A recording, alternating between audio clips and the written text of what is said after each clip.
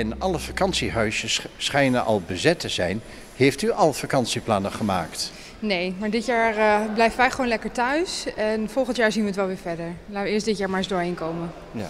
Nou, ik wacht überhaupt uh, met de corona even. Maar uh, ik ben alleen en ik heb niet zo heel veel behoefte om... Plannen hebben we wel, maar we boeken voorlopig nog niks. Want? Je houdt er toch wel rekening mee. U wilt wel even afwachten? Als het weer mag, ja, dan heel graag natuurlijk. Ja. Maar ik ben wel van plan om samen met mijn vriend nog op vakantie te gaan. We weten alleen niet precies wanneer. En weet u wel wat de bestemming is? Uh, nou, ik denk dat we, we blijven sowieso wel in Europa. Een beetje in de buurt, misschien naar Spanje of Frankrijk. Uh, en dan gaan we gewoon met de auto, zodat we zo min mogelijk uh, contacten kunnen ja. hebben. We zouden eigenlijk deze week op vakantie zijn in Drenthe. Een heel mooi huisje, een hele mooie omgeving. Maar helaas laat nu de corona het niet toe. Dus we hebben het verzet naar de bouwvak. Ja, dan moeten we hopen dat de maatregelen versoepeld zijn. Ja. En dat we wel kunnen gaan. Ja, ja, ja. maar niet in Nederland, maar naar Frankrijk. En dat kan allemaal vanwege de coronamaatregelen?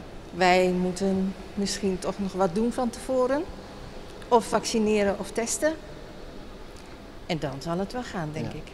En uh, zijn er ook coronamaatregelen in de zin van quarantaine voor of na vertrek? Als je weer terugkomt. Ja, maar daar is geen quarantaine. Dat wil zeggen, je moet dus uh, getest zijn of gevaccineerd. En dan uh, kan, je, kan je er naartoe. Helemaal niet. Het is nog maar februari en met dit mooie weer. We zijn dicht bij huis, we wonen in Almelo, we hebben een hele mooie omgeving. We kunnen alle kanten op. Dus u heeft iedere dag vakantie?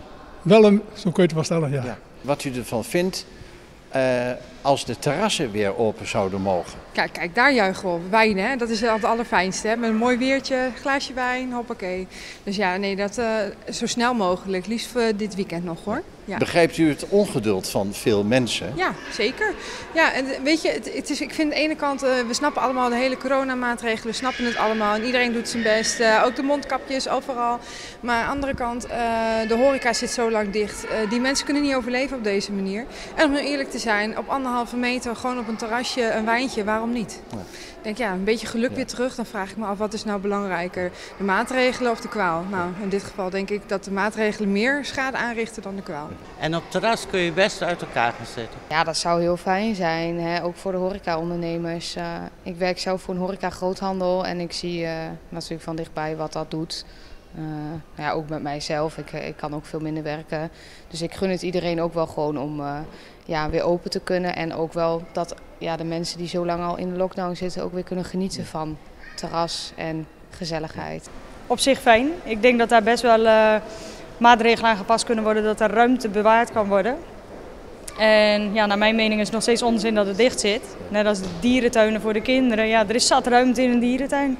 Dus ja, ik vind de maatregelen op zich te streng. Uh, als het onder controle kan, dan vind, ben ik daar wel voor. En wanneer is het niet onder controle in uw ogen? Nou ja, het moet waarschijnlijk niet te druk worden. Uh, als het, kijk, want je hebt ook nog die, uh, laten we zeggen, hoe laat, uh, tot hoe laat mag je buiten zijn? 9 uur? 9 uur s'avonds. Nou, kijk, wat gebeurt er dan? Hoe lang gaan ze open? Tot 9 uur? Nou, dan heb je de zaak niet geregeld, denk ik. We kijken ernaar uit, maar we houden even een slag om de arm. Begrijpt u het ongeduld van veel mensen? Ja. Ja, ja want je hebt het gevoel dat je vrijheid afgenomen wordt. Ja. En uh, als u voor uzelf spreekt? Uh, heb ik wel het gevoel, in die zin, voor een deel, voor zeker met mijn kinderen, dat mijn vrijheid afgenomen wordt. Ja, best wel. Best wel. Want het is niet makkelijk. En vooral voor jongeren, hè? Dat, uh, je wordt gedwongen op de stoel gezet. En uh, ja, dat is natuurlijk nooit leuk. Maar ik hoop dat ze nog even het geduld op kunnen brengen. Ja. Dat uh, zou wel heel fijn zijn. En ja, hopelijk komt er snel een eind aan. Want ik denk dat menigeen het allemaal wel een beetje zat is. Gezien de hele situatie vraag je je af of het verantwoord is. Maar van de andere kant zegt mijn gevoel ook wel een beetje. Ze kunnen niet eeuwig Nederland op slot blijven houden. En niet altijd zeggen van dat mag niet meer, maar ook eens kijken wat er misschien wel kan. En uw vakantieplannen staan voorlopig in de ijskast? Ja, zeker. We gaan voor het wijntje dan.